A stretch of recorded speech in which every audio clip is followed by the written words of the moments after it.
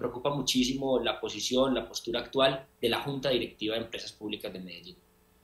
Luego de la penosa situación en la que renunció en pleno la Junta Directiva anterior de la empresa,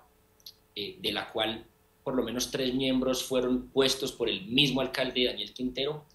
vemos cómo esta Junta Directiva brilla por su ausencia, brilla por su silencio, no nos acompaña en las sesiones del Consejo, no se pronuncia frente a los graves cuestionamientos de la hoja de vida de este actual gerente y de muchos otros escándalos que a lo largo de su corta experiencia como miembros de Junta han tenido que vivir.